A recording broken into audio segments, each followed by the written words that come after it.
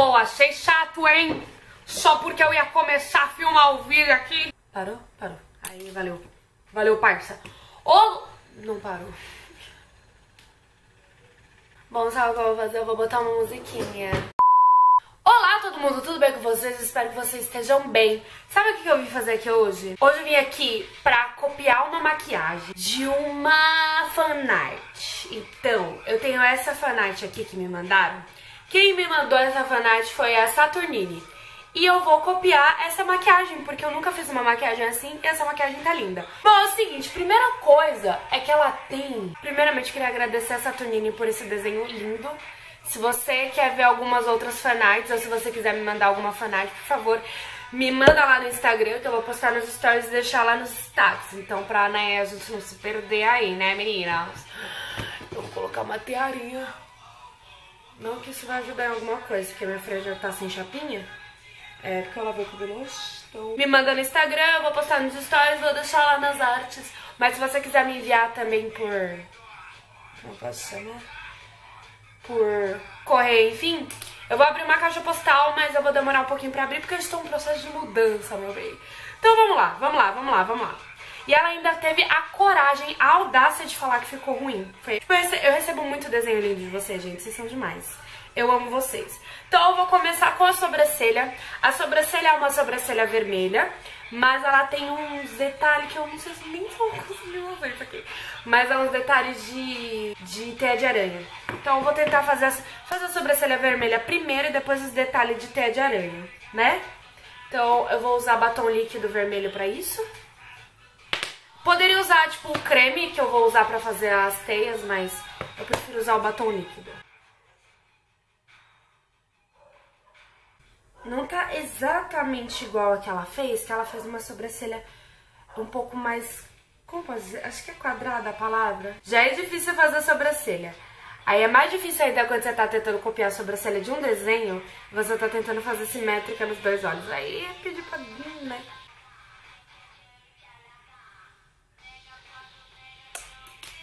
Só que está longe da simetria, né? Ela fez a minha sobrancelha tão simétrica, acho que eu vou pedir pra ela vir fazer minha sobrancelha aqui. Que agora eu tava vendo maquiagens antigas minhas e vendo as minhas sobrancelhas e eu fiquei, e eu fiquei com um pouquinho de vergonha ali de mim mesma. Que é normal, né, gente? Maquiagem é uma evolução, né? É uma evolução natural. Hoje eu ando bem mais chata com as minhas sobrancelhas do que eu andava uns meses atrás aí.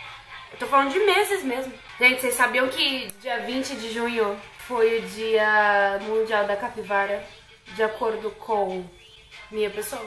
É porque eu postei um, um, mini vídeo no Instagram falando sobre, tipo, passando iluminador, só que eu tava fazendo a carinha de capivara de felicidade. E aí todo mundo começou a me mandar foto, e aí quando eu vi, eu só tava recebendo stories de gente fazendo capivara. Eu fiquei super assustada, mas eu fui repostando quem eu consegui. E dia 20 de junho foi o dia mundial da capivara. Ou eu posso fazer até dia 20 de todos os meses, assim. Dia 20, dia da capivara, me mandei essas capivaras. Cadê? Tá lá embaixo, meu. Eu não vou pegar, velho. Eu vou usar outro corretivo, porque eu não vou pegar meu corretivo lá embaixo. Então vamos lá, vamos fazer um, um zoinho legal aí. Ela fez, ela me fez com um cut piece meio puxado pro marrom, assim, que eu curti bastante. Então pra isso eu vou usar essa paleta aqui da Divia's Place, né, que eu usei ela faz pouco tempo. É, eu gostei dessa paleta. Então eu vou pegar a cor Zobo, que é um marrom quente, mais puxado pro neutro. E eu vou passar aqui no meu corpo.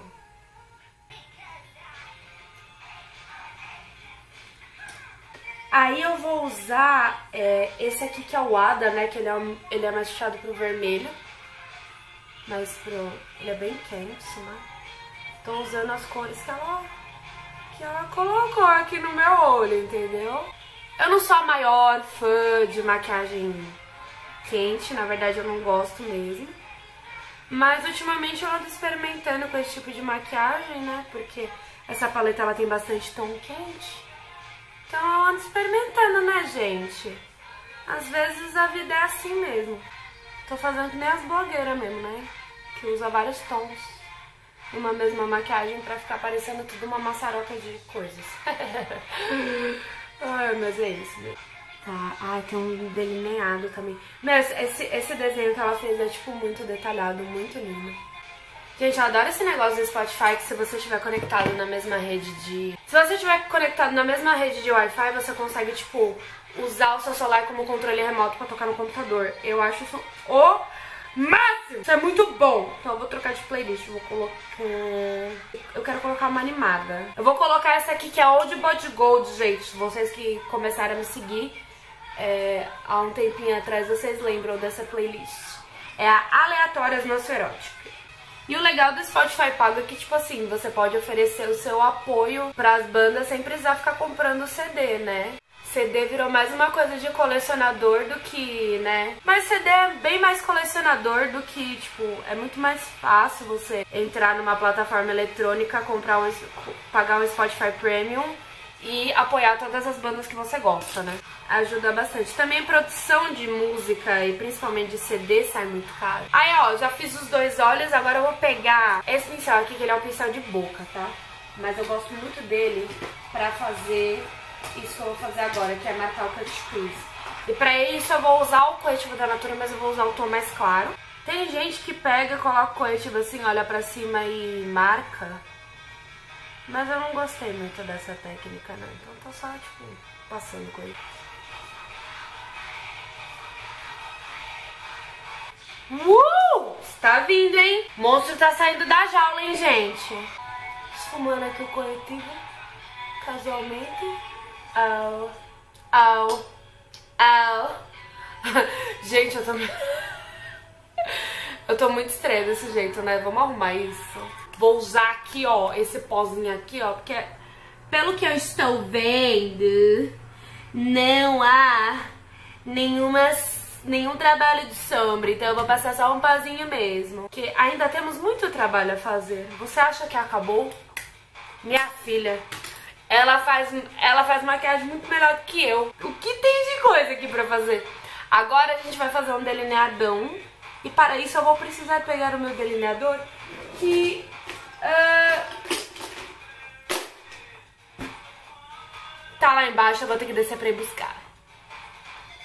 Voltamos à programação normal, porque agora os chakras se alinharam, tava um pouco desalinhado, tá meninas? Porque minhas maquiagens essencial tava tudo aqui nessa bolsinha, que eu saí ontem, aí achei que ia ficar muito tempo fora de casa e ia precisar passar maquiagem, mas não precisei. Agora vamos fazer um delineadão eu tenho que fazer um delineado bem grosso, mas eu tenho que ter um pouquinho de espaço pra fazer um delineado vermelho que ela colocou bem aqui na parte de cima. Por quê? Porque a Saturnine, ela é um gênio, né, pessoal? Ela é um gênio da maquiagem, né? Então, vamos lá.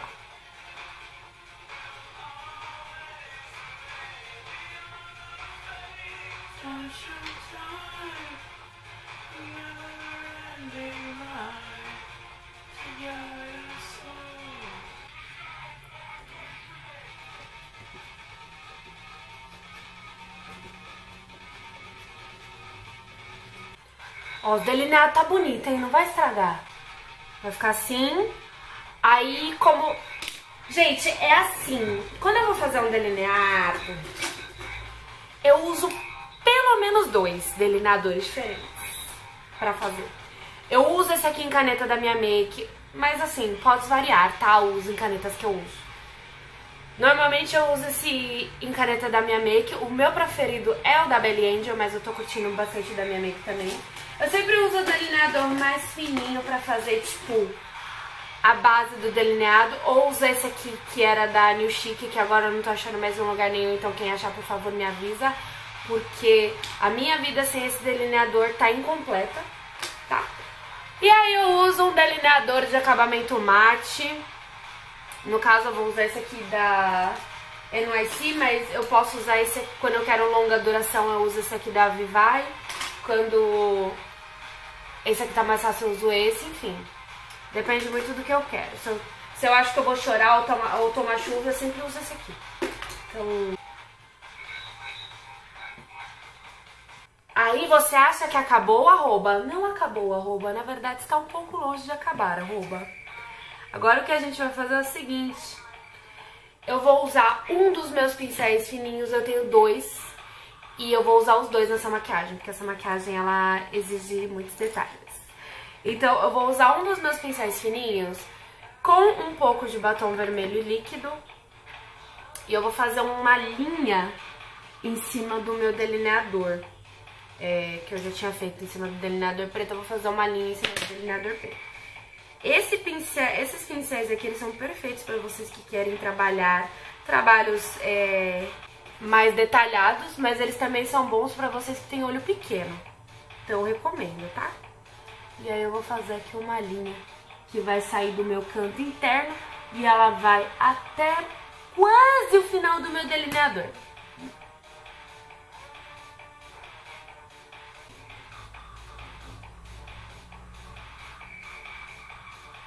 Eu gosto desse tipo de coisa, porque é bem desafiador, assim. Só que eu acho que... A linha tá boa. Acho que eu só vou precisar engrossar mais. Estou. Agora eu vou voltar no meu delineador. É, eu vou meio que reforçar com preto esse cut crease, entendeu? Aí eu vou pegar um pouquinho de sombra preta. Gente, estamos quase lá, hein? Quase lá! Agora eu vou pegar aquele meu outro pincel. Lembra que eu falei pra você que eu já... Então, poderia limpar? Poderia, claro que eu poderia. Eu tô com preguiça. Cara, é o seguinte. Tenho teias de aranha desenhadas no arco da minha sobrancelha. Mas tem um porém, Saturnine. Por mais que você seja super talentosa, e manje fazer essas coisas mais artísticas, o Bilene que vos fala não tem este talento. Então, o Bilene que vos fala vai ter que ir na famosa cara e coragem. E existe, Saturnino, uma probabilidade muito grande de dar errado essa parte. E é o que mais me assusta. Ai, meu Deus, eu tenho... Ai, meu Deus. Ai, meu Deus. Acabou. Acabou, gente. Eu já peço desculpas pra vocês, porque eu vou estragar uma maquiagem linda. Linda. Vou tentar, tipo, colocar na frente do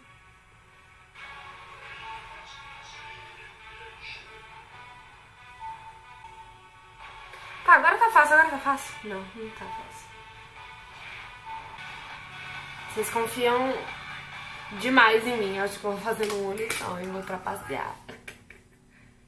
Mas eu tava quase manjando.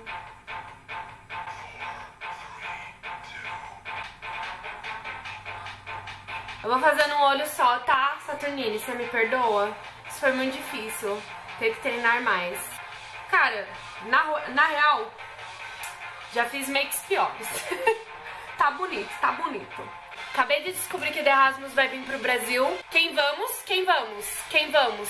Deixem aí nos comentários. Eu vou pro show do The Erasmus no Brasil. Cara, finalmente! A Rubia de 12 anos, ela tá surtando, surtando. Porque quando eu tinha 12 anos, teve The Erasmus aqui no Brasil. E aí eu não fui, por quê? Porque é, eu tinha 12 anos, né, gente? Batom vermelho, né, porque ela me conhece, ela me conhece muito bem. Então eu vou fazer a pele, é, colocar cílio postiço e aí eu volto pra terminar a maquiagem com vocês, tá? Maquiagem ela não começa a fazer sentido até depois que você faz a pele, né, ó? Olha que babada essa make, gente. E eu ainda coloquei a lente vermelha, né, porque na foto, no desenho que ela me enviou, eu estou de olhos vermelhos. Aí o que, que ela fez? Ela fez meu famoso cantinho interno, que eu particularmente não sou do tipo que reclama, né? Então vou fazer o cantinho interno aqui. E aí ela fez aqui preto, certo? Só que ela colocou o marronzinho um pouquinho ali pra dar aquela profundidade que nós gostamos, né? Então eu vou fazer o quê? Vou pegar o pincel que eu tava usando marrom, eu vou passar ele primeiro antes de passar o preto. E aí eu vou vir com sombra preta. Aí eu vou vir naquela sombra preta que eu falei pra vocês com pouca pigmentação, né?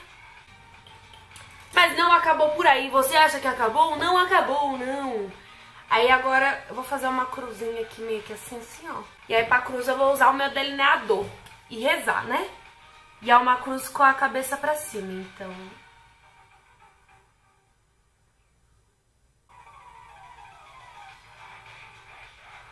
Cruz feita.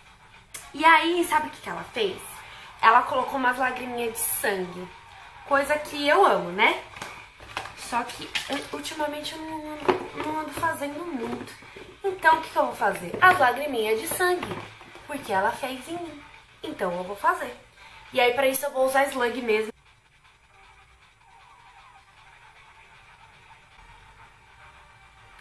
Oh my god. Look at her butt. Oh my god. Look at her. Tá maravilhosa. E eu não coloquei iluminador e eu acho que eu não vou passar iluminador. Pelo menos não nas bochechas. Aí o que eu vou fazer? Passar batom vermelho, obviamente. Né? Tô de batom vermelho nessa make, então eu vou fazer isso. Tá, querida? Agora eu vou lá arrumar o meu cabelo. Eu já venho falar com vocês. Pode ser? Então, gente, essa é a maquiagem finalizada. Olha que linda que ficou. É muito parecida com várias das maquiagens que eu já postei aqui no canal, eu sei disso. Mas eu estava só tentando recriar uma maquiagem que fizeram com um desenho meu, não é mesmo? E eu amei, ela é maravilhosa, olha que linda. A gente fica um tempão fazendo as maquiagens, fica, mas olha que bonito que fica. Entendeu? Então, eu queria agradecer muito a Saturnine por ter feito esse desenho maravilhoso de mim, que eu amei. E também, se você quiser me enviar algum desenho, fique à vontade, fique à vontade. Ela ter, ela ter. Fique à vontadinha, tá? É só você me mandar lá no Instagram que eu reposto nos stories. Não se esqueçam que maquiagem é sempre prática. Eu já, postei, eu já fiz muita maquiagem zoada e que eu não postei justamente porque eu sabia que estava zoada, mas é tudo questão de prática, tá bom? Então se você quiser, é só você praticar em casa, pega suas maquiagens depois de você ter voltado do trabalho, sei lá, pega todas suas maquiagens, taca tudo no rosto, pinta um olho uma cor olho de outra e vai testando, que uma hora sai, tá bom? Então basicamente é isso, espero muito que vocês tenham gostado desse vídeo. Não faça parte dos 70% que vem aqui no meu canal, não se inscreve, se inscreve aí, deixa um comentário também, me dizendo se você gostou dessa maquiagem. Você acha que eu fiz igual? Fiz igual? Tá parecido? O que, vocês acham? Eu acho que, exceto pela teia de areia, tá quase lá. Mas eu gostei bastante do resultado, tá bom? Então basicamente é isso. Espero muito que vocês tenham gostado desse vídeo. Espero que tenha sido útil pra vocês. Até a próxima aí. Tchau!